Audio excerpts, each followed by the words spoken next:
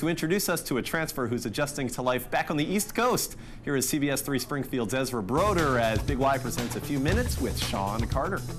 Hey, Josh, Coach, do you guys remember the movie The Air up there? Well, it's not quite the same with Sean Carter, but he may actually spend more time above the rim than underneath it. Everybody loves to see dunks. It's just like, no matter, I don't care, no matter who you are or where you're at, when somebody dunks, everybody gets all into the game, get your team going. It just, it, it helps. That's why my coach is stressing me to just try to dunk. Every time I catch the ball, just try to dunk it. Sean Carter may be the most athletic player on UMass, but there's no debate as to who's the best dunker. It's just natural instinct just to dunk. Like, I mean, I'm taller than the dunks. I should dunk a lot of things. At six foot nine, the sophomore center is usually a little quicker than the person guarding him, and that lets him do what he does best. Throw it down. I like to like catch alleys. I'm really good at catching alley when they, my teammates pass to me. So it gets the, the fans excited and my team going. It just helps. It, it changes the whole game when, when there's dunks involved. I'm going for a dunk. Usually I try to get my body squared so I can have a strong base. Then I chin the ball usually so the defenders won't be able to smack the ball out of my hand if they're around me.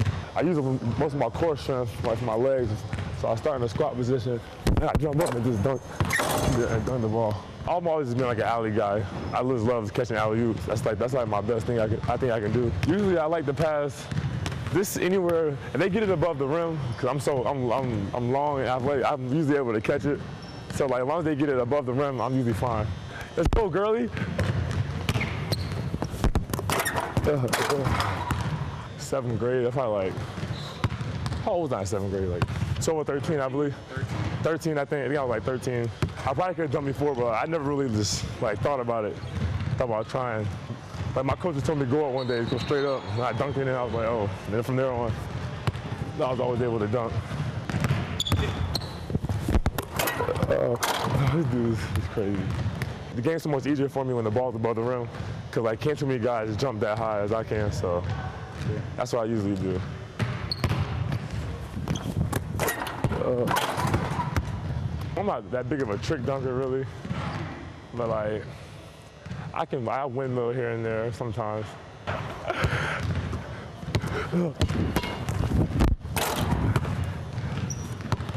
Now, normally at this point, I would try to dunk using what Sean taught us all, but since I'm 5 foot 8, I can barely even touch the backboard.